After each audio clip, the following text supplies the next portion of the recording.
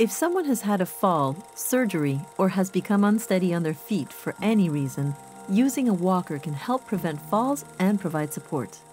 If the person you're caring for needs a walker, you might be feeling unsure of how to help them with it. In this video, we'll review some tips on how to use a walker safely. First, make sure you have the right type of walker for the person you're caring for. This will help make sure they're safe. When helping someone use a walker, let them control the speed that you're both walking. Stand beside or behind them for support with a hand on their lower back. Never pull or push the walker forward. Encourage them to keep their head up and look forward instead of looking at their feet.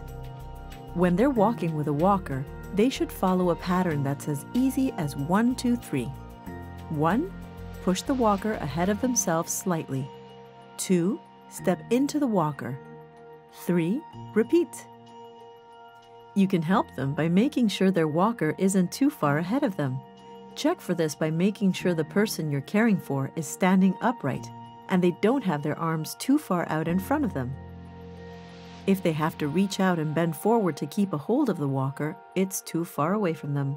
Keeping one hand on the walker with one hand on their back to keep the walker close by can help them get used to it.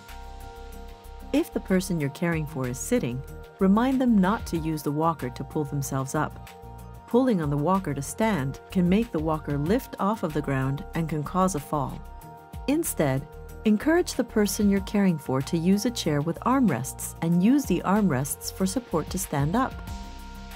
The best thing you can do to help support someone who needs a walker is to encourage and remind them to use it at all times and make sure pathways are clear with no clutter or area rugs in the way.